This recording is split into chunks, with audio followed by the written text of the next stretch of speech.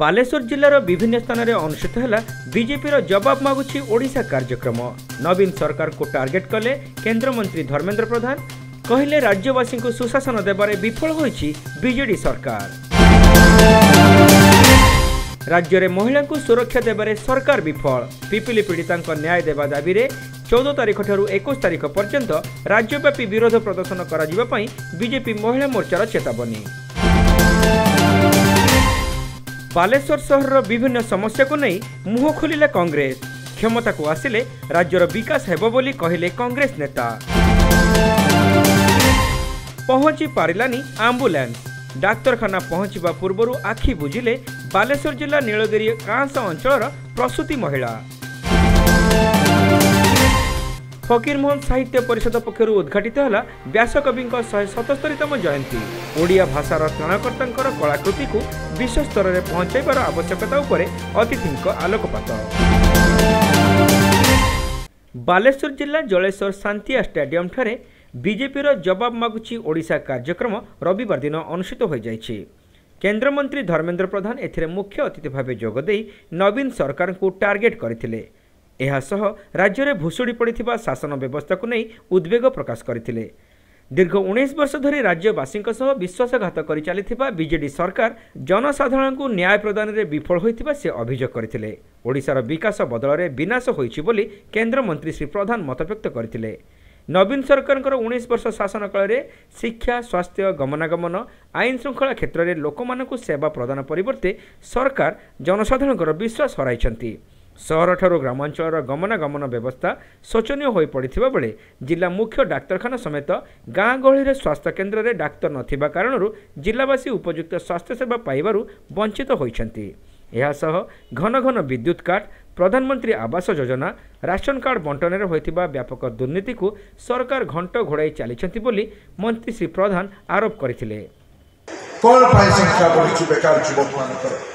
ଏ ପାଇଁ ସରକାରୀ ଟଙ୍କା ବେକାର ଯୁବକର କାମରେ ଆସୁନି ଆମ ଗାଁ ଆମ ବିକାଶ ନାଁରେ କାମ ହଉ ଜଳସେଚନ ବିଭାଗର କାମ ହଉ ରାସ୍ତା ବିଭାଗର କାମ ହଉ ପିଇବା ପାଣି ବିଭାଗର କାମ ହଉ ଏ କାମ ବିନା ଟେଣ୍ଡରରେ ବିନା ପାରଦର୍ଶିତାରେ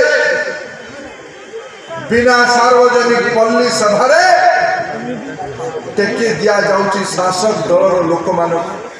ମୋତେ କହିଲେ ଆପଣମାନେ ଆପଣଙ୍କ ଅଞ୍ଚଳରେ ଯେଉଁ ଆମ ଗାଁ ଆମ ବିକାଶ କାମ ହେଲା ଆପଣମାନଙ୍କୁ ପଚାରିକି ହେଇଥିଲା ଆପଣମାନଙ୍କ ପରାମର୍ଶରେ ହେଇଥିଲା କାମ କେଉଁଠି ହେବ କିଏ କରିବ କେତେ ଟଙ୍କାରେ କାମ ହେବ ୟାର ପରାମର୍ଶ କାହାକୁ ହୋଇନଥିଲା। ଅସାଧୁ ସରକାରୀ କର୍ମଚାରୀ ଦୁଇ ପାଞ୍ଚ ଜଣ ଶାସକ ଦଳର ହାତ ବାରିଶି ହେଇ ସେହିପରି ରାଜ୍ୟ ସରକାର ଜଳେଶ୍ୱରକୁ ଅଣଦେଖା ମଧ୍ୟ କରୁଛନ୍ତି। ଜଳେଶ୍ୱର ଓଡ଼ିଶାର ଏକ ପୁରୁଣା ନଗରୀ ମାତ୍ର ଏଠାରେ ପାନୀୟ ଜଳର ବ୍ୟବସ୍ଥା ନାହିଁ। ଉଣେଇଶ ବର୍ଷର ଶାସନ କାଳରେ ନବୀନ ବାବୁ ଘରକୁ ପାଇପ୍ ଯୋଗେ ପିଇବା ପାଣି ଦେଇପାରିଲେ ନାହିଁ। ହେଲେ ମୋଦି ସରକାର ବାଲେଶ୍ୱର ପ୍ରତ୍ୟେକ ଘରକୁ ପାଇପ୍ ଯୋଗେ ଗ୍ୟାସ୍ ଦେବା ପାଇଁ ଯୋଜନା ଆରମ୍ଭ କରିଛନ୍ତି ବୋଲି ସେ କହିଥିଲେ। ଉତ୍ତର ଓଡ଼ିଶାର ବାଲେଶ୍ୱର ଜିଲ୍ଲା ଜଳେଶ୍ୱର ଅଞ୍ଚଳରେ ପୂର୍ବରୁ ଟସର କାମ ପାଇଁ ପ୍ରସିଦ୍ଧି ଲାଭ କରିଥିଲା। ଏ ଅଞ୍ଚଳରେ ବୁଣାକାରଙ୍କର ହାତ ତିଆରି ଟସର ଲୁଗା ବାହାର ରାଜ୍ୟରେ ବେଶ୍ ଆଦୃତ ଲାଭ କରିଥିଲା।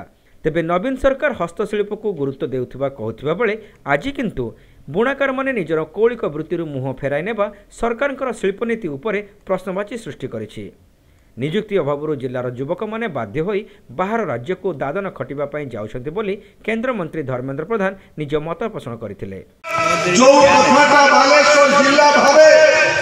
ଯୋଉ କଥାଟା ବାଲେଶ୍ୱର ଜିଲ୍ଲା ଭାବେ ଓ ବିଶେଷ କରିକି ଉତ୍ତର ବାଲେଶ୍ୱର ଭାବେ ସେ କଥାଟି ମାସେ ଦୁଇ ମାସ ବର୍ଷେ ପରେ ଓଡ଼ିଶାର ଅନ୍ୟ ଅଞ୍ଚଳକୁ ଯାଏ ଓଡ଼ିଶାର ଭାବିବା ଚିନ୍ତିବା ଆଗକୁ ଦେଖିବା ଲୋକମାନଙ୍କର ଅଞ୍ଚଳ ଇଏ ଉତ୍ତର ବାଲେଶ୍ୱର ଇଏ ବସ୍ତା ଭୋଗରାଇ ବାଲିଆପାଳ ଜଳେଶ୍ୱର ଜଳେଶ୍ୱର ୟାର ପେଣ୍ଠସ୍ଥଳୀ ଜଳେଶ୍ୱର ୟାର ଐତିହ୍ୟ କେନ୍ଦ୍ର ଏ ଜଳେଶ୍ୱର ଗୋଟିଏ ସମୟରେ ଏ ଅଞ୍ଚଳ ଅର୍ଥନୀତିର ମୂଳ ପେଣ୍ଠସ୍ଥଳୀ ଥିଲା ଟସର ଶିଳ୍ପ ବୁଣାକାର ମାନଙ୍କର ପରିଶ୍ରମ ଏ ଅଞ୍ଚଳକୁ ସମ୍ପନ୍ନତା ଆଣିଦେଇଥିଲା ଏ ଅଞ୍ଚଳର ଚାଷ ଆଜି ମେଦିନାପୁର ଆମ ସାଙ୍ଗରେ ନାହିଁ କିନ୍ତୁ ଓଡ଼ିଆ ଅଞ୍ଚଳ ଓଡ଼ିଆ ଭାଷା ଭାଷୀ ଅଞ୍ଚଳ ଏ ସବୁ ଅଞ୍ଚଳ ଆଜିର ବଙ୍ଗାଳର ମେଦିନାପୁର ଅଞ୍ଚଳ ହଉ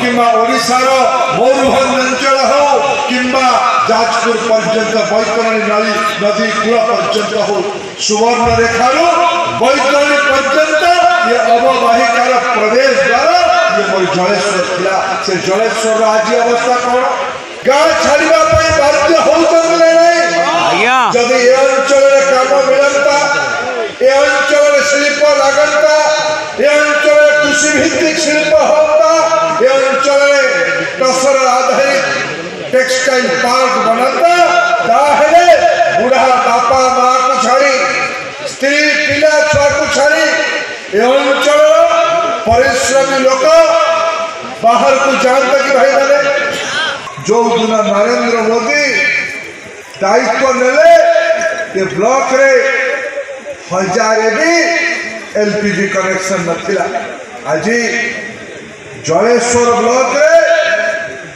ପନ୍ଦର ହଜାର ସାତଶହ ପଞ୍ଚସ୍ତରୀ ଏଲପିଜି କନେକ୍ସନ ପ୍ରଧାନମନ୍ତ୍ରୀ ଉଜ୍ଜଳା ଯୋଜନାରେ ପହଞ୍ଚେଇଛି ଚିଟ୍ଫଣ୍ଡ ଘୋଟାଲାରେ ନିରୀହ ଜମାକାରୀଙ୍କର ଅର୍ଥ ଲୁଟ୍କାରୀଙ୍କୁ ସରକାର ସୁରକ୍ଷା ଦେଇ ଚାଲିଥିଲା ବେଳେ ସମ୍ପ୍ରତି ସିବିଆଇର ସକ୍ରିୟ ତଦନ୍ତ ହିଁ ଲୋକମାନଙ୍କୁ ଉଚିତ ନ୍ୟାୟ ପ୍ରଦାନ କରିବ ଆଗାମୀ ନିର୍ବାଚନରେ ବାଲେଶ୍ୱର ସମେତ ସମଗ୍ର ଓଡ଼ିଶାରେ ବିଜେପି ବିଜୟ ହାସଲ କରିବା ସହିତ ଓଡ଼ିଶାରେ ଶହେ କୋଡ଼ିଏଟି ଆସନ ଦଖଲ କରି କ୍ଷମତାକୁ ଆସିବ ବୋଲି ସେ ଆଶା ପ୍ରକାଶ କରିଥିଲେ।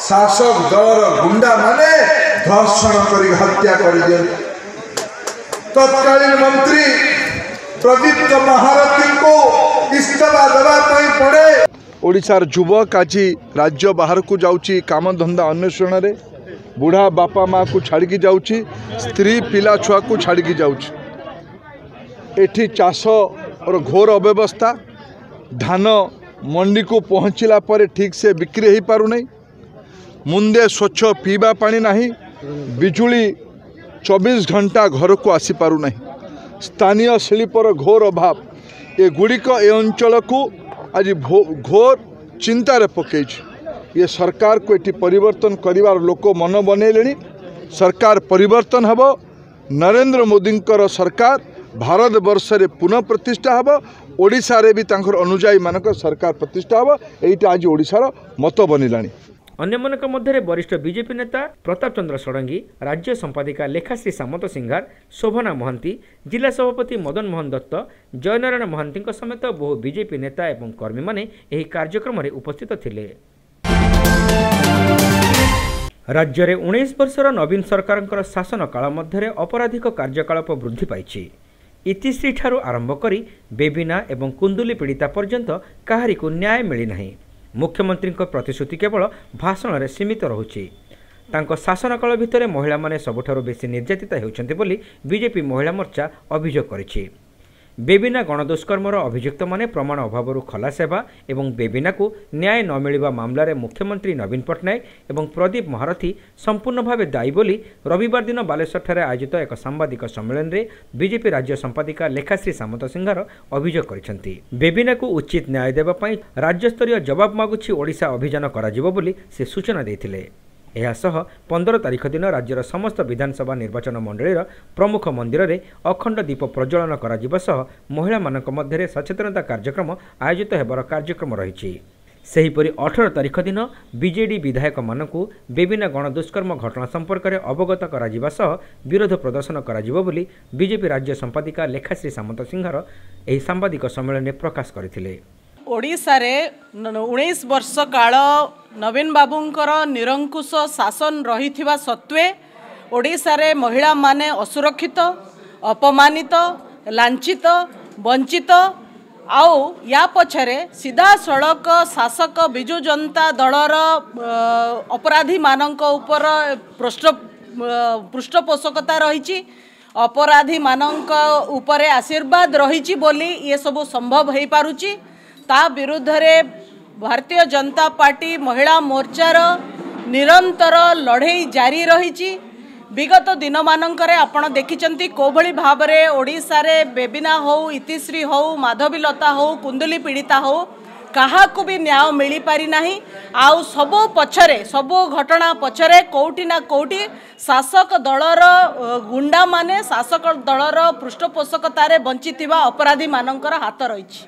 ତାଙ୍କୁ ବଞ୍ଚାଇବାକୁ ଯାଇ ମୁଖ୍ୟମନ୍ତ୍ରୀ ତାଙ୍କର ଗୃହ ବିଭାଗ ପୋଲିସ ପ୍ରଶାସନ କ୍ରାଇମ୍ ବ୍ରାଞ୍ଚ ଯେଉଁଭଳି ଭାବରେ ତଦନ୍ତ ପ୍ରକ୍ରିୟାରେ ଶୀତଳତା ଦେଖାଇଛନ୍ତି ଅପରାଧୀମାନଙ୍କୁ ଖସିଯିବାର ଗଳା ବାଟ ଦେଇଛନ୍ତି ୟାର ଭାରତୀୟ ଜନତା ପାର୍ଟି ଘୋର ନିନ୍ଦା କରୁଛି। ଆଗାମୀ ଦିନରେ ମହିଳାମାନେ ପିନ୍ଧୁଥିବା ନାଲି କାଚ ଚୁଡ଼ି ଯେଉଁଟା ଗୋଟେ ସାହସର ପ୍ରତୀକ ତାକୁ ମୁଖ୍ୟମନ୍ତ୍ରୀଙ୍କୁ ଭେଟିଦେବ ଯେହେତୁ ମୁଖ୍ୟମନ୍ତ୍ରୀ ସାହସ ଜୁଟେଇ ପାରୁନାହାନ୍ତି ମହିଳାମାନଙ୍କୁ ସୁରକ୍ଷା ଦେବା ପାଇଁକି ସେଥିପାଇଁକି ସପ୍ତାହ ବ୍ୟାପୀ ବ୍ୟାପକ କାର୍ଯ୍ୟକ୍ରମ। ଜାନୁଆରୀ ଚଉଦରୁ ଏକୋଇଶ ପର୍ଯ୍ୟନ୍ତ ବ୍ୟାପକ କାର୍ଯ୍ୟକ୍ରମ। ବେବିନାର ଆତ୍ମାର ସଦ୍ଗତି ନିମନ୍ତେ ସବୁ ମନ୍ଦିରରେ ମଠରେ ଅଖଣ୍ଡ ଦ୍ୱୀପର ପ୍ରଜ୍ୱଳନ ସ୍ଥାନୀୟ ବିଧାୟକଙ୍କ ଘର ସାମ୍ନାରେ ଆନ୍ଦୋଳନ ତାଙ୍କ ଘର ସାମ୍ନାରେ ଚୁଡ଼ି ଅ, ଲଟକେଇବା। ସବୁ ମହିଳାଙ୍କୁ ଅନୁରୋଧ ଗାଁ ଗହଳିରେ ଯେତେ ମହିଳା ଅଛନ୍ତି ଚୁଡ଼ି ଭେଟି ଦେବେ। ମୁଖ୍ୟମନ୍ତ୍ରୀଙ୍କୁ ତାକୁ ପୋଷ୍ଟାଲ ମାଧ୍ୟମରେ ଆମେ ନବୀନ ନିବାସରେ ପହଞ୍ଚେଇବୁ। ଆଉ ଗାଁ ଗାଁ ବୁଲି ସଚେତନତା ବଢ଼େଇବୁ। କେଉଁଭଳି ଭାବରେ? ଇଏ ଅପାରଗ ସରକାର ସ୍ଥାଣୁ ସରକାର ମହିଳାମାନଙ୍କୁ ସୁରକ୍ଷା ଦେବାରେ ସମ୍ପୂର୍ଣ୍ଣ ଭାବରେ ବିଫଳ ହେଇଛି। ଆଉ ମହିଳାମାନେ ନିଜ ସୁରକ୍ଷାର ଦାୟିତ୍ୱ ନିଜ ହାତରେ ନେଇ ଏହି ଅପାରଗ ସରକାରକୁ ଏ ରାଜ୍ୟରୁ ବହିଷ୍କାର କରିବେ। ସେ କ- ସଂକଳ୍ପ ନେଇକିରି ଆମେ ଏ ସାତ ଦିନର କାର୍ଯ୍ୟକ୍ରମ କରିବୁ। ଅନ୍ୟମାନଙ୍କ ମଧ୍ୟରେ ରାଜ୍ୟ ମହିଳା ମୋର୍ଚ୍ଚା ସଦସ୍ୟା ଶିପ୍ରା ବାଜପେୟୀ ମହିଳା ମୋର୍ଚ୍ଚା ଜିଲ୍ଲା ସଭାପତି କମଳା ବିନ୍ଧାଣୀ ପ୍ରମୁଖ ଏହି ସାମ୍ବାଦିକ ସମ୍ମିଳନୀରେ ଉପସ୍ଥିତ ଥିଲେ। ବାଲେଶ୍ୱର ସହରର ବିଭିନ୍ନ ସମସ୍ୟାକୁ ନେଇ କଂଗ୍ରେସ ମୁହଁ ଖୋଲିବାକୁ ଆରମ୍ଭ କରିଛି। ରାଜ୍ୟରେ ବିଜେଡିର ଅଠର ବର୍ଷ ଶାସନ କାଳ ମଧ୍ୟରେ ସହରର ବିକାଶ ପାଇଁ ଅନେକ ଯୋଜନା ଗ୍ରହଣ କରାଯାଇଥିଲେ ବି ବାଲେଶ୍ୱର ପୌରପାଳିକା ପକ୍ଷରୁ ସେଭଳି କୌଣସି ଆଖିଦୃଶିଆ ପଦକ୍ଷେପ ଗ୍ରହଣ କରାଯାଏ ନାହିଁ। ଆଜି ସହରବାସୀ ଅନେକ ମୌଳିକ ସୁବିଧାରୁ ବଞ୍ଚିତ ହେଉଛନ୍ତି ବୋଲି ରବିବାର ଦିନ ଜିଲ୍ଲା କଂଗ୍ରେସ କାର୍ଯ୍ୟାଳୟଠାରେ ବାଲେଶ୍ୱର ନଗର କଂଗ୍ରେସ କମିଟି ପକ୍ଷରୁ ଆୟୋଜିତ ଏକ ସାମ୍ବାଦିକ ସମ୍ମିଳନୀରେ କୁହାଯାଇଛି। ନଗର କଂଗ୍ରେସ କମିଟିର ସଭାପତି ପଦ୍ମଲୋଚନ ଲେଙ୍କାଙ୍କ ଅଧ୍ୟକ୍ଷତାରେ ଆୟୋଜିତ ଏହି ସାମ୍ବାଦିକ ସମ୍ମିଳନୀରେ ପୂର୍ବତନ ବିଧାୟକ ଗୋପନାରାୟଣ ଦାସ ଜିଲ୍ଲା କାର୍ଯ୍ୟକାରିଣୀ ସଦସ୍ୟ ବିକ୍ରମ ପଣ୍ଡା ପୂର୍ବତନ ଜିଲ୍ଲା ସଭାପତି ସତ୍ୟନାରାୟଣ ମହାନ୍ତି ପ୍ରମୁଖ ଯୋଗଦେଇ ରାଜ୍ୟର ସର୍ବପୁରାତନ ବାଲେଶ୍ୱର ସହରର ପରିସ୍ଥିତିକୁ ନେଇ ଅସନ୍ତୋଷ ପ୍ରକାଶ କରିଥିଲେ। ଶିକ୍ଷା ସ୍ୱାସ୍ଥ୍ୟ ଗମନାଗମନ ଏମିତିକି ଭୁଷୁଡ଼ି ପଡ଼ିଥିବା ନିଷ୍କାସନ ବ୍ୟବସ୍ଥାକୁ ନେଇ ସେମାନେ ଅସନ୍ତୋଷ ପ୍ରକାଶ କରିଥିଲେ। ଆଜି ବାଲେଶ୍ୱର ସହରରେ ପାନୀୟ ଜଳ ଯୋଗାଣ ବ୍ୟବସ୍ଥା ସ୍ୱାସ୍ଥ୍ୟ ଅବସ୍ଥା ରାସ୍ତାଘାଟ ସମସ୍ୟା ଆବର୍ଜନା ନିଷ୍କାସନ ସମସ୍ୟା ଶାନ୍ତ ସହରୀ ଜୀବନକୁ ଅଶାନ୍ତ କରିଦେଇଛି। ଏଗୁଡ଼ିକର ସମାଧାନ ଏବଂ ପ୍ରତିକାରର ବ୍ୟବସ୍ଥା ଦିଗରେ ପୌରପାଳିକା ସେଭଳି ଆଖିଦୃଶ୍ୟ ପଦକ୍ଷେପ ଗ୍ରହଣ କରିନଥିବା ନଗର କଂଗ୍ରେସ କମିଟି ସଭାପତି ପଦ୍ମଲୋଚନ ଲେଙ୍କା ଅଭିଯୋଗ କରିଥିଲେ। ବାଲେଶ୍ୱର ସହରରେ ଗୋଟିଏ ସୁନ୍ଦର ପାର୍କ ନାହିଁ। ଯେଉଁ ବାଲେଶ୍ୱରବାସୀମାନେ ଯାଇ ନିଜେ ଉପଭୋଗ କରିବେ ତାଙ୍କର ସମୟ କଟେଇବେ ସେହି ପାର୍କ ପାଇଁ ଅମୃତ ଯୋଜନାରେ ପାଞ୍ଚଟି ପାର୍କ ହେବା ପାଇଁ ସିଦ୍ଧାନ୍ତ ଗ୍ରହଣ କରାଯାଇଥିଲା କିନ୍ତୁ ସେଥି ବାବଦରେ ବହୁ ଟଙ୍କା ଆସିଛି ଦଶ କୋଟି ଟଙ୍କା ପ୍ରାୟ ଆସିଛି ଗୋଟିଏ ମଧ୍ୟ ପ୍ରାୟ ପାର୍କ ହୋଇପାରିଲା ନାହିଁ ଦ୍ୱିତୀୟ କଥା ହେଲା ପାଣି ପ୍ରକଳ୍ପ ଯେଉଁ ପାଣି ବାଲେଶ୍ୱର ସହରବାସୀଙ୍କ ପାଇଁ ତିରିଶ ବର୍ଷରୁ ପଚାଶ ବର୍ଷ ପର୍ଯ୍ୟନ୍ତ ପାଣି ପାଇପାରିବେ ତା'ର ଗୋଟିଏ ନଦୀ ପ୍ରକଳ୍ପ ହେବାର ଥିଲା। ନଦୀରୁ ପାଣି ଆଣି ଛାଣିକି ଫିଲ୍ଟରିଂ କରିକି ବାଲେଶ୍ୱରବାସୀଙ୍କୁ ଯୋଗାଇବାର ଥିଲା ତାହା ମଧ୍ୟ ବନ୍ଦ ହୋଇଗଲା। ଏବଂ ତା ନାମରେ ସବୁ ରାସ୍ତା ଗୁଡ଼ିକ ଖୋଳି ଦେଇକି ପାଇପ୍ ଲାଇନ୍ ପକାଇଛନ୍ତି ଏବଂ ଅଧା ପନ୍ତରିଆ କାମ କରିଛନ୍ତି ସେ କାର୍ଯ୍ୟ ମଧ୍ୟ ହେଇନାହିଁ। ବାଲେଶ୍ୱର ସହରରେ ସିଟି ବସ୍ ଚାଲିବା କଥା। বড় বড় সিটি বস নিয়ে আইলে এক্সিকিউটিভ অফিসর মহোদয় ছানিয়া মানিয়া হয়েকি তরবরিয়া ভাবে নিয়ে আসলে এবং তাহা সে বস দশটি বস চারি কোটি টঙ্কার বস গান্ধী স্মৃতি ভবন পাখে ক্ষত খাওছে তাহা আপনার জাঁচান দ্বিতীয় চতুর্থ কথা হল ড্রেনেজ ড্রেনেজ পাই টঙ্কা আসিছে বহু টঙ্কা আসি সে টঙ্কা মধ্যে খরচ করা যাই পু না কোটি টিকে টিকে কাম হয়েছি বর্ষা হলে আঁঠুয়ে পানি সমস্ত ঘরে পশি যাচ্ছে দোকানী মানুষ পশি যাচ্ছে পশি যাচ্ছেন সেথিরে মধ্যে পদক্ষেপ পৌর পরিষদ কিছু নেই না স্বচ্ছ ভারত অভিযানের ଆପଣମାନେ ଯିବେ। ସତେଇଶ ନମ୍ବର ୱାର୍ଡ଼ ଚୁନଭାଟି ପାଖରେ ଗୋଟିଏ ଗାର୍ବେଜ୍ ପୀଠସ୍ଥଳୀ ରହିଛି। ସେ ପାହାଡ଼ ପରି ପରି ହେଇଗଲାଣି। ଅନ୍ୟ କେଉଁଠି ଗାର୍ବେଜ୍ ପକାଇବା ପାଇଁ କିଛି ସିଦ୍ଧାନ୍ତ ନିଆଯାଉନାହିଁ କି ନିଆଯା କରାଯାଉନାହିଁ? ଯାହାଦ୍ୱାରା କି ସେଠି ଯେଉଁ ବାସିନ୍ଦାମାନେ ରହୁଛନ୍ତି ସେ ବାସିନ୍ଦାମାନେ ବହୁତ ହନ୍ତସନ୍ତ ହେଉଛନ୍ତି ଗନ୍ଧରେ ଏ, ରହୁଛନ୍ତି ବଡ଼ କଷ୍ଟ ପାଉଛନ୍ତି। ସେହିପରି ସଦର ନିର୍ବାଚନ ମଣ୍ଡଳୀରେ କଂଗ୍ରେସ ସରକାରଙ୍କ ସମୟରେ ବିଭିନ୍ନ ଲୋକାଭିମୁଖୀ ଯୋଜନା ହାତକୁ ନିଆଯାଇଥିବା ବେଳେ ବିଜେଡି ସରକାର ନିଜ ନାଁ କହି ବାହା ବାହା ନେଉଛନ୍ତି। ବାସ୍ତବରେ ଓଡ଼ିଶାରେ କଂଗ୍ରେସ ସରକାରଙ୍କର ସଦର ନିର୍ବାଚନ ମଣ୍ଡଳୀ ସମେତ ଅନ୍ୟାନ୍ୟ ନିର୍ବାଚନ ମଣ୍ଡଳୀରେ ବହୁବିଧ ବିକାଶ କରାଯାଇଥିବା କଂଗ୍ରେସ ନେତାମାନେ ଦୃଢ଼ୋକ୍ତି ପ୍ରକାଶ କରିଥିଲେ। ଯେ ବାଲେଶ୍ୱର ଜିଲ୍ଲାରେ ଯେଉଁ ବୃହତ୍ ଶିଳ୍ପାନୁଷ୍ଠାନ ଆରମ୍ଭ ହୋଇଥିଲା ସେଠୁ ଆରମ୍ଭ କରି ଆପଣଙ୍କର ବୁଢ଼ାବଳଙ୍କ ପୁଲ ପର୍ଯ୍ୟନ୍ତ ବାଲିଘାଟ ପୁଲ ଡୁବଡୁବି ପୁଲ ଆପଣଙ୍କର ପଞ୍ଚପଡ଼ା ପୁଲ ଇଏ ସବୁ ପ୍ରକଳ୍ପ କଂଗ୍ରେସର ତତ୍କାଳୀନ ୟୁ ପି ଏ ସରକାର ସମୟରେ ଜାନକୀ ପଟ୍ଟନାୟକଙ୍କ ସମୟରେ ଆମର ଗୋପୀନାଥ ଦାସଙ୍କ ସମୟରେ ଯେତେ କାର୍ଯ୍ୟକ୍ରମ ହୋଇଥିଲା ତାହାର ଫଟୋକୁ ନିଜ ବ୍ୟାନରରେ ମାରି ଲୋକଙ୍କୁ ଭୁଆଁ ବୋଲିବାର ଯେଉଁ ଅପଚେଷ୍ଟା ଜୀବନବାବୁ କରୁଛନ୍ତି ତାକୁ ଦୁଇ ହଜାର ଉଣେଇଶରେ ବାଲେଶ୍ୱର ସଦର ନିର୍ବାଚନ ମଣ୍ଡଳର ଭୋଟର ଭାଇ ଭଉଣୀମାନେ ନିଶ୍ଚିତ ଉତ୍ତର ଦେବେ। ପ୍ରୋଜେକ୍ଟ ମୁଁ ଆପଣଙ୍କୁ କହି ରଖିବା ପାଇଁ ଚାହେଁ ବିନା କଂଗ୍ରେସ ବିନା ୟୁ ପି ଏ ସରକାରରେ ସେ ପ୍ରୋଜେକ୍ଟ ହୋଇପାରିନଥାନ୍ତା। এবং আজি যে দিদিরা পুল আপনার দেখুম তৎকালীন ইউপিএ সরকার সময় শহে পরসেন্ট অনুদান সে পুল হয়েছে এবং জীবনবাবু তথ্য ন জাঁি লোক বিভ্রান্ত করছেন ভোটর মানুষ বিভ্রান্ত করছেন ইয়ার উত্তর সে দুই হাজার উনিশ নির্বাচনে পাইবে এবং কংগ্রেস দল এটি ক্ষমতাসীন হব, এমএলএ হব রাজ্য সরকার গড়ব। অন্যমানক মধ্যে কংগ্রেস নারী নেত্রী অর্চনা নন্দী যুবনেতা সন্তোষ দাস চিত্তরঞ্জন নায়ক সুশান্ত সাহু প্রমুখ এই সাংবাদিক সম্মেলনে উপস্থিত লে ବାଲେଶ୍ୱର ଜିଲ୍ଲା ନୀଳଗିରି ଥାନା ଅନ୍ତର୍ଗତ କାଁସ ଗ୍ରାମର ଗର୍ଭବତୀ ମହିଳାଙ୍କର ଗର୍ଭବେଦନା ହେବାରୁ ଆଶାଙ୍କ ସହାୟତାରେ ଶହେ ଦୁଇ ଏବଂ ଶହେ ଆଠ ଆମ୍ବୁଲାନ୍ସକୁ ଖବର ଦିଆଯାଇଥିଲା। ନୀଳଗିରି ଅଞ୍ଚଳରେ ଗାଡ଼ି ନଥିବାରୁ ବିଳମ୍ବରେ ବାଲେଶ୍ୱରରୁ ଶହେ ଦୁଇ ଆମ୍ବୁଲାନ୍ସ ଯାଇ ମହିଳାଙ୍କୁ ଡାକ୍ତରଖାନାକୁ ଆଣିଥିଲା। ରାତି ଗୋଟାଏ ପରେ ନୀଳଗିରି ଉପଖଣ୍ଡ ଚିକିତ୍ସାଳୟରେ ପହଞ୍ଚିଥିବା ବେଳେ ଡାକ୍ତର ଗର୍ଭବତୀ ମହିଳାଙ୍କୁ ମୃତ ଘୋଷଣା କରିଥିଲେ। ବାସନ୍ତୀ ନାୟକଙ୍କର ଗର୍ଭବେଦନା ଦିନ ଦ୍ୱିପହର ଆରମ୍ଭ ହୋଇଥିଲା। ଆଶାକର୍ମୀ ସକାଳ ସାତଟାରୁ ଶହେ ଦୁଇ ଏବଂ ଶହେ ଆଠ ଆମ୍ବୁଲାନ୍ସକୁ ଫୋନ୍ ଲଗାଇ ଲଗାଇ ବିଫଳ ହୋଇଥିଲେ। ବାଲେଶ୍ୱରରୁ ଶହେ ଦୁଇ ଆମ୍ବୁଲାନ୍ସ ଆସିବା ପରେ କାଁସ ଗ୍ରାମରୁ ରୋଗୀକୁ ନୀଳଗିରି ଡାକ୍ତରଖାନାକୁ ଅଣାଯାଇଥିଲା। ଅତ୍ୟଧିକ ଗର୍ଭବେଦନା ଯୋଗୁଁ ରାସ୍ତାରେ ତାର ମୃତ୍ୟୁ ଘଟିଥିଲା। ନିର୍ଦ୍ଧାରିତ ସମୟରେ ଆମ୍ବୁଲାନ୍ସ ପହଞ୍ଚିଥିଲେ ଗର୍ଭବତୀ ମା ଛୁଆ ପ୍ରାୟ ବଞ୍ଚି ପାରିଥାନ୍ତେ ସନ୍ଧ୍ୟାବେଳେ ଆମର ଦେଖିଲେ ଯେ ତିନିଟା ଚାରିଟା ବେଳେ ଆମର ତିନିଟା ଚାରିଟା ନୁହେଁ ପାଞ୍ଚଟା ଖଣ୍ଡେ ଟାଇମ୍ରେ ଆମର ବାନ୍ତି ଟିକେ ମାନେ ମୁଣ୍ଡ ଫୁଣ୍ଡ ବୁଲେଇଲା ଆଉ ବାନ୍ତି ଉଠେଇଲା ବୋଲି କହିଲେ ସେ ଟିକେ ବାନ୍ତି ବି କଲେ ବାନ୍ତି କରିପଲା ପରେ ମୁଁ କହିଲି ତାହେଲେ ଦେଇକି ଡାକିତେ ଯୋଗ ଯାଇଥିଲି ଆଶା ଦିଦିକି ଆଶା ଦିଦି ଆମର ଥିଲେନି କି ଦୁରିଆକୁ ଯାଇଥିଲେ ଦୁରିଆରୁ ଆସିକି ଫୋନ୍ କରିକି ସେମାନେ ଫୋନ୍ କରିଲେ ଗାଡ଼ିକି ଗାଡ଼ିରୁ ଆମର ଦେଖିଲେ ଯେ ଗାଡ଼ି ଆମର ଏଠି ନୀଳଗିରିକୁ ଫୋନ୍ କରିଥିଲେ ନୀଳଗିରିରୁ ଗାଡ଼ି ମିଳିଲାନି। ମୁଁ ଯାଇକି ବାଲେଶ୍ୱରରୁ ଗାଡ଼ି ଆଇଲା ଗାଡ଼ି ଆଇଲା ବେଳକୁ ବାଟରୁ ନେଇକି ଆଇଲା ବେଳକୁ ଅଧା ବାଟରୁ ଡେଥ୍ ହେଇଗଲେ ଆଉ ଶହେ ଦୁଇ କେତେବେଳେ ଫୋନ୍ କଲ ଆଉ କେତେବେଳେ ଶହେ ଦୁଇ ପହଞ୍ଚ ଶହେ ଦୁଇ କି ସାଢ଼େ ସାତଟା ବେଳକୁ ଫୋନ୍ କରାହେଇଥିଲା ସାଢ଼େ ସାତଟା ବେଳକୁ ଫୋନ୍ କରାହେଇଥିଲା ଯେ ଏଠି ଦେଖିଲା ବେଳକୁ ଗାଡ଼ି ଥିଲାନି ଆଉ ଗାଡ଼ି ଥିଲାନି ବାଲେଶ୍ୱରକୁ ଫୋନ୍ କଲେ ବାଲେଶ୍ୱରରୁ ଗାଡ଼ି ଆଇଲା ବେଳକୁ ଏଠିକୁ ଆଇଲି କେତେବେଳେ ଗାଡ଼ି ଆଇଲା ଗାଡ଼ି ହଁ ସାଢ଼େ ଆଠଟା ବେଳକୁ ପହଞ୍ଚିଗଲାନି ଗାଡ଼ି ଆମେ ଆସିକି ସେଇ ଗାଡ଼ିରୁ ନେଇକି ଆସିକି ନଅଟା ଖଣ୍ଡେ ସାଢ଼େ ନଅଟା ଖଣ୍ଡେ ଟାଇମ୍ରେ ଏଠି ପହଞ୍ଚିଛୁ ଆଉ ଯଦି ଆଗୁଆ ପହଞ୍ଚିଥାନ୍ତା ହୁଏତ ସବୁ ଠିକ୍ ଠାକ୍ ହେଇଥାନ୍ତା ନା କ'ଣ? ଆଗୁଆ ଟିକେ ବେଣୁସୁ ପହଞ୍ଚେଇ ଗାଡ଼ି ସାଙ୍ଗେ ସାଙ୍ଗେ ମିଳିଥାନ୍ତା। ଗାଡ଼ି ମିଳିଥିଲେ ସବୁ କିଛି ସୁବିଧା ହେଇଥାନ୍ତା। ଗାଡ଼ି ଦେଖିଲାକୁ ଆମର ସେଠି ବି ଗାଡ଼ି ମିଳିଲାନି। ଆଉ ସେଥିପାଇଁ ଏମିତି ଆଉ। ଡେଲିଭରି ପେସେଣ୍ଟ ତ ପେନ୍ ହେଲା ଆଉ ସାତଟା ବେଳେ ପେନ୍ ହେଇଛି ଆଉ ଗାଡ଼ି ଫୋନ୍ କରି କରି ଦଶଟା କେତେଟା ଗାଡ଼ି ପାଇଲେ। ପ୍ରାଇଭେଟ୍ ଗାଡ଼ି ବି ପାଇଲେନି କି ଆମ୍ବୁଲାନ୍ସ ବି ଶହେ ଦୁଇ ବି ନାହିଁ ନୀଳଗିରିର ନାହିଁ କି ଏଠି ଇଏର ବ୍ରହ୍ମପୁର ଆସିଲାନି ବାଲେଶ୍ୱରରୁ ଆସିକି ନେଇକି ଆସିକି ପହଞ୍ଚିଲା ବେଳକୁ ବାଟରେ ଡେଥ୍ ହେଇଗଲା।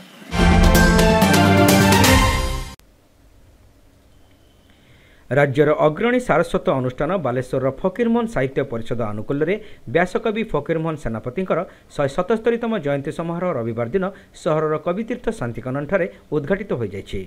ବାଲେଶ୍ୱର ଲୋକସଭା ସାଂସଦ ରବୀନ୍ଦ୍ର କୁମାର ଜେନା ମୁଖ୍ୟ ଅତିଥି ଭାବେ ଯୋଗଦେଇ ଏହି କାର୍ଯ୍ୟକ୍ରମକୁ ଆନୁଷ୍ଠାନିକ ଭାବେ ଉଦ୍ଘାଟନ କରିବା ସହ କଥାକାର ଫକୀରମୋହନ ସେନାପତିଙ୍କର ବହୁବିଧ ପ୍ରତିଭା ଏବଂ ତତ୍କାଳୀନ ଉତ୍କଳର ସାମଗ୍ରିକ ବିକାଶରେ ତାଙ୍କର ଅବଦାନ ସମ୍ପର୍କରେ ଆଲୋକପାତ କରିଥିଲେ।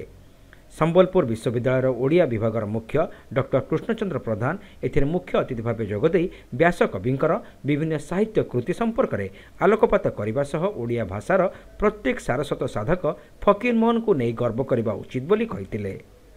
ତାଙ୍କର ବିଭିନ୍ନ ରଚନାରେ ପ୍ରତିଫଳିତ ତତ୍କାଳୀନ ସାମାଜିକ ବ୍ୟବସ୍ଥାର ପ୍ରତିଛବି ଆଜି ମଧ୍ୟ ଜୀବନ୍ତ ହୋଇ ରହିଛି ବୋଲି ସେ କହିଥିଲେ। ବ୍ୟାସକବିଙ୍କ କଳାକୃତିକୁ ବିଶ୍ୱସ୍ତରରେ ପହଞ୍ଚାଇବାକୁ ତାଙ୍କର ଲେଖାକୁ ଅଧିକ ଭାଷାରେ ଅନୁବାଦ କରିବାର ଆବଶ୍ୟକ ରହିଛି ବୋଲି ଡକ୍ଟର ପ୍ରଧାନ ପ୍ରକାଶ କରିଥିଲେ। ଫକୀରମୋହନ ସାହିତ୍ୟ ପରିଷଦର ସଭାପତି ଡକ୍ଟର ଶିରିଶ ଚନ୍ଦ୍ର ଜେନା ଏଥିରେ ଅଧ୍ୟକ୍ଷତା କରିଥିବା ବେଳେ ସମ୍ପାଦକ ଡକ୍ଟର କୁମାର ଗୋପାଳ ପ୍ରାକ୍ ଭାଷଣ ପ୍ରଦାନ କରିଥିଲେ। ଅନ୍ୟମାନଙ୍କ ମଧ୍ୟରେ ପରିଷଦର ଉପସଭାପତି ପ୍ରଦୀପ କୁମାର ଚାଟାର୍ଜୀ ଡକ୍ଟର ସାରଙ୍ଗଧର ତ୍ରିପାଠୀ ତପନ ରାୟଙ୍କ ସମେତ ବହୁ ସାହିତ୍ୟିକ ଉପସ୍ଥିତ ଥିଲେ। ବାଲେଶ୍ୱର ଜିଲ୍ଲା ନୀଳଗିରି ଆଦିବାସୀ ବହୁଳ ଅଞ୍ଚଳରେ ମକର ସଂକ୍ରାନ୍ତି ପାଇଁ ଅଖଣ୍ଡ ଶିକାର ପାଇଁ ଶିକାରୀ ସଜବାଜ ହେଉଥିବା ଜଣାପଡ଼ିଛି। ପ୍ରତ୍ୟେକ ବର୍ଷ ଭଳି ଚଳିତ ବର୍ଷ ମକର ପାଇଁ କୁଲଢିଆ ଅଭୟାରଣ୍ୟ ସୀମାନ୍ତ ଗ୍ରାମଗୁଡ଼ିକରେ ଶିକାରୀମାନେ କୁଲଢିଆ ଅଭୟାରଣ୍ୟ ଭିତରକୁ ଅଖଣ୍ଡ ଶିକାର କରିବାକୁ ଯାଇଥାନ୍ତି। ବନ୍ୟଜନ୍ତୁ ଶିକାର କରି ତାର ମାଂସକୁ ମକରରେ ଭୋଜି କରି ଖାଇବାର ଆଦିବାସୀ ଗ୍ରାମଗୁଡ଼ିକରେ ପରମ୍ପରା ରହିଥିବା କୁହାଯାଏ। ତେବେ ଅଖଣ୍ଡ ଶିକାର ରୋକିବା ପାଇଁ କୁଲଢିଆ ଏସିଏଫ୍ ଲକ୍ଷ୍ମଣ କୁମାର ପ୍ରଧାନଙ୍କ ନେତୃତ୍ୱରେ କୁଲଢିଆ ବନ ବିଭାଗ ନୀଳଗିରି ବନ ବିଭାଗ ସୋର ଏବଂ ଔପଦା ବନ ବିଭାଗର ଶତାଧିକ କର୍ମଚାରୀମାନେ ଶିକାରୀଙ୍କ ଦାଉରୁ ବନ୍ୟଜନ୍ତୁଙ୍କୁ ରକ୍ଷା ଦେବା ପାଇଁ ନିୟୋଜିତ ଅଛନ୍ତି। ଅଭୟାରଣ୍ୟ ଚାରିପଟେ ଦିନରାତ୍ରି ଏକ କରି କର୍ମଚାରୀମାନେ କଡ଼ା ପେଟ୍ରୋଲିଂ କରୁଥିବା ଦେଖାଦେଇଛି।